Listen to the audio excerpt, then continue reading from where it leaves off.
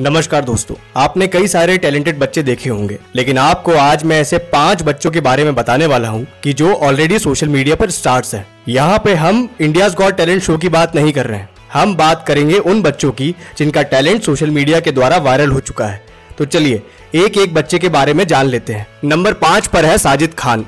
साजिद खान ये भारत का एकमात्र बच्चा है जो अपने मुँह से डीजे बीट्स की आवाज़ निकालता है।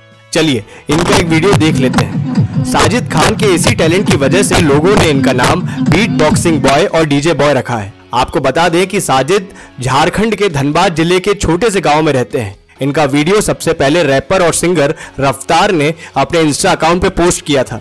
इसके बाद साजिद की पॉपुलैरिटी बहुत ज़्यादा बढ़ गई थी। आज के समय इनका एक यूट्यूब चैनल भी है और एक लाख सत्तर हज़ार से ज़्यादा सब्सक्राइबर भी है। नंबर चार।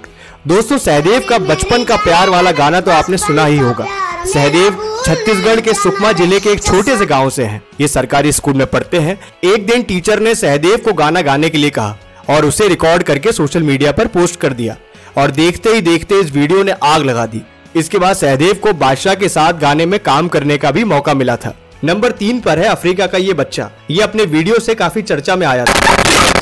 अपनी आवाज़ से वहाँ रहने वाले लोगों को काफ़ी परेशान करता था। किंतु एक व्यक्ति को इसका ये आवाज़ निकालना अच्छा लगा और उसने ये वीडियो बना के सोशल मीडिया पे पोस्ट किया और देखते ही देखते ये वायरल हो गया। नंबर दो पर है अहमद शाह, जो कि पाकिस्तानी बच्चा है।